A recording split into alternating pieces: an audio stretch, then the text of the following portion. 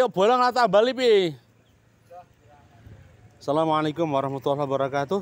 Baiklah kami melaporkan situasi jalan di ring road yang ring road Yaksi ke Kuangen dan kemudian Kuangen ke Candi. Ini desanya bulong ya bos? Candi Rejo ya di posisi Candi Rejo ini jalannya berlubang sangat parah dan berbahaya. Ini sama penduduk dikasih tambalan bolong ya ini berlubang sangat berbahaya jadi mohon ya ini mungkin dari saluran air ya jadi kami perlu melaporkan kepada pihak-pihak terkait termasuk pemerintah daerah Kabupaten Seragen eh, berkenan untuk mencermati dan menindaklanjuti. Biasanya ini kegiatan jalur alternatif untuk acara mudik ya.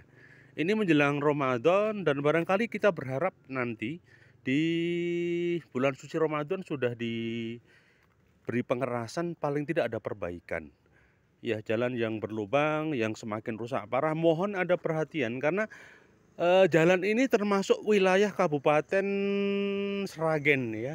Eh, dana ini eh, karena ini jalurnya jalur alternatif jalur antar desa sehingga sekali lagi ini kami informasikan kami komunikasikan berkenan untuk Bapak Lurah di Kuangen juga Bapak Lurah di Ngembat Padas eh, untuk menindaklanjuti sebenarnya ini sudah diajukan lama ya. Eh, informasinya sudah sampai ke pihak-pihak terkait termasuk DPU tetapi sampai detik ini belum ada tindakan.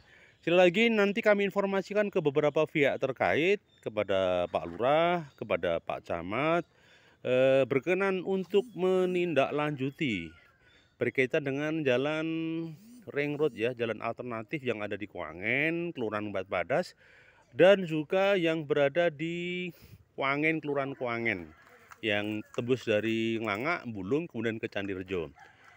Sekali lagi terima kasih informasi ini kami berikan kepada beberapa pihak terkait.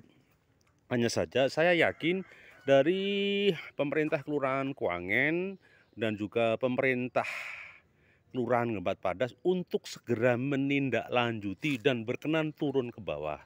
Kepada Pak Camat berkenan mohon juga segera untuk mengkomunikasikan dengan pihak-pihak terkait termasuk dinas PU dan terkait.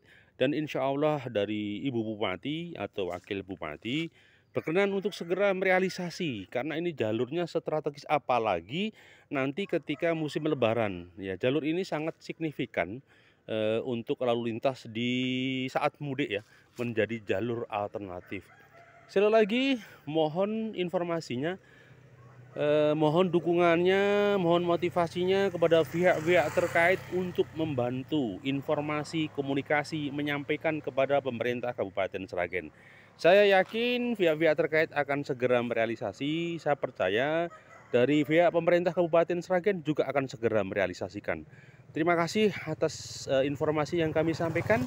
Bila ada sesuatu yang tidak berkenan, mohon dimaafkan. Kami komunitas pemberdayaan masyarakat kelurahan di wilayah Kecamatan Gemolong akan senantiasa menginformasikan situasi dan kondisi pembangunan yang ada di Gemolong. Terima kasih, salam sukses, salam membangun dan eksis dan istiqomah. Assalamualaikum warahmatullahi wabarakatuh. Ayo Pak.